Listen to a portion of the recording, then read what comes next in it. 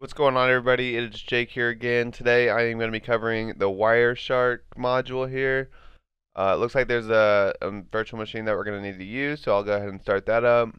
Uh, but anyways, let's just get right into it. This is the basic version. I think there is two other ones. Uh, right now we're just going to start with this one, and I probably will do the other two as well. Okay, so in task one, uh, it just has you read some things and it asks a couple questions. What file is used to simulate the screenshots? Uh, that should be the HTTP one right here. Dot pcap png or pcapng. And then which file is used to answer the questions? Uh, that should be the exercise file right here.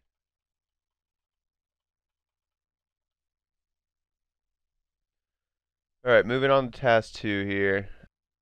After reading everything in task 2, it basically just explains uh, the different features Wireshark has. Getting onto the questions, it says to use this exercise file to answer the questions. So read the capture file comments. What is the flag?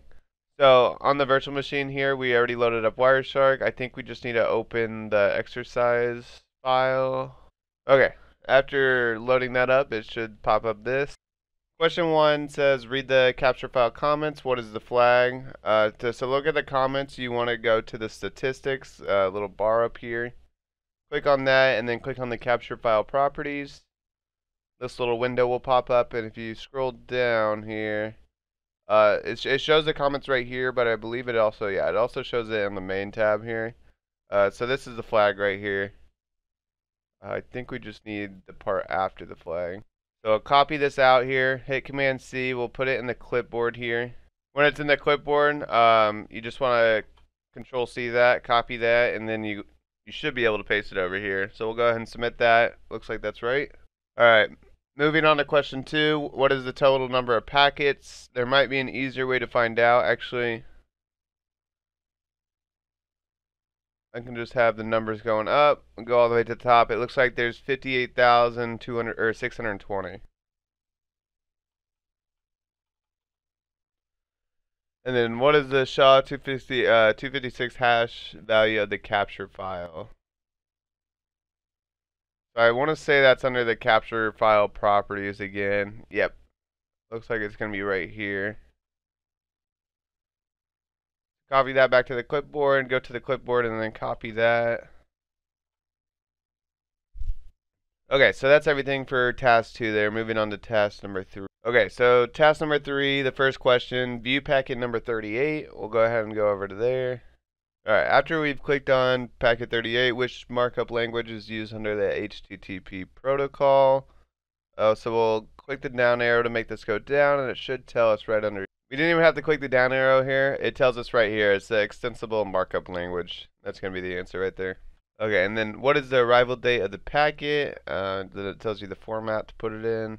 So it looks like the arrival time is going to be May 13th, 2004. Okay, so the next question, what is the TTL value? That's the time to live value. So if you go to the Internet Protocol version 4 section, uh, it'll say time to live right here, and it's 47.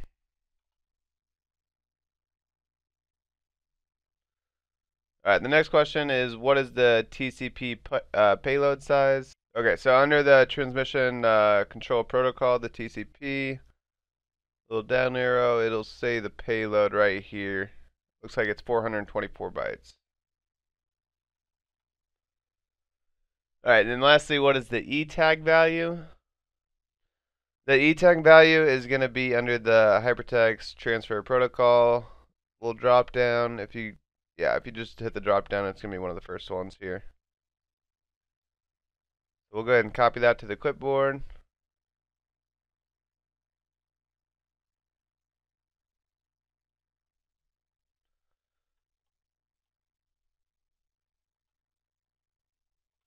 And then we can paste that in, and it looks like that's right there.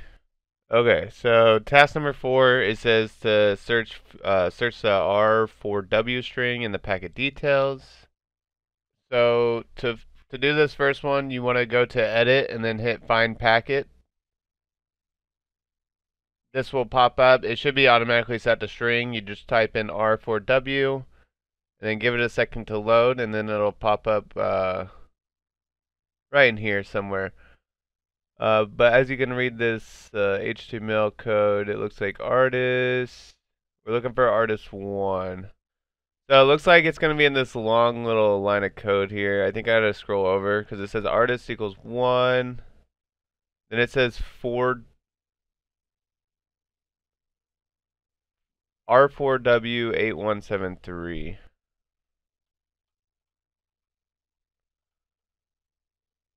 Alright, looks like that's the correct answer there. Okay, go to packet 12 and read the comments. What is the answer? Um, so I could just sort this by number, and I could go all the way to the top here. Packet number 12. This one was kind of a hard one, uh, but I did figure it out. Uh, so, okay, so if you go to uh, packet number 12, uh, and read the comments, this is what it says. This is not a flag, and it tells you to go to this packet. Once you go to that packet, you want to uh, right click on the JPEG uh, little drop down there, and you want to export packet bytes. I just saved mine as the file name answer onto the desktop. I'll just replace that.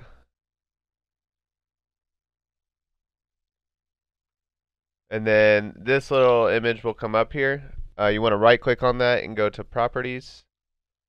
And then you can go all the way over to the digest tabs. Right click on MD5 and uh, click hash. It'll hash everyone selected. And then you want to right click that and copy that. Go to your clipboard and it'll be right here. Just copy this again and then paste it here.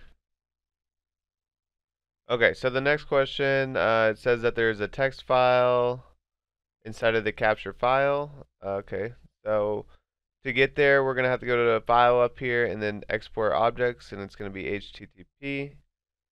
Uh, for the text filter, you can just type in the txt for the txt file, and then this is the only one that pops up. So we'll go ahead and save that to the desktop here.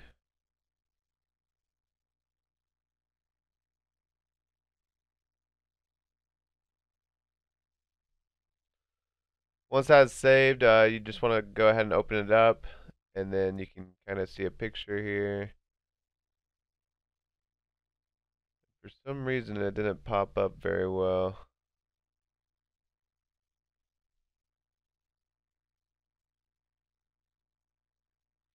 The first time I did it, it showed up a lot better than this, but it's supposed to say Packet Master, so the answer is going to be Packet Master here. Okay, so the last question, uh, look at the expert info section. What is the number of warnings? If you click the red little dot down here, all this will pop up. You only want to show the warnings so you can uncheck all the other ones.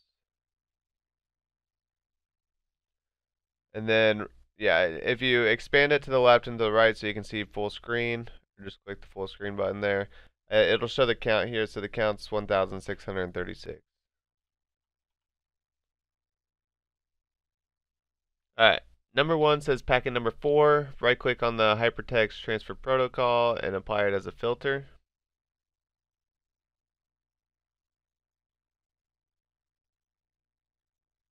Now look at the filter pane. What is the filter query? It looks like it changed it to HTTP there. Alright, and the next question is, what is the number of displayed packets? If you look at the bottom of the, the window, it says displayed 1089 there. The next question is, go to packet number 33,790, so we'll go ahead and do that. Okay, so the easiest way to answer this question I found is just go to the packet 33790, uh, right click on it, and you want to do follow the HTTP stream. Once you're on here, you can just find artists. And you can just go down a couple. Alright, so if you go down far enough to this one, uh, it says there's artist. Artist 1 is the one we already knew.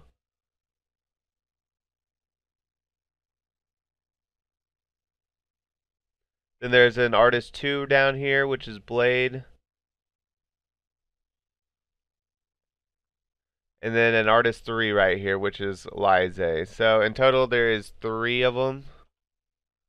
And then the next question is, what is the name of the second artist? As I already said, it's Blade with a three at the end.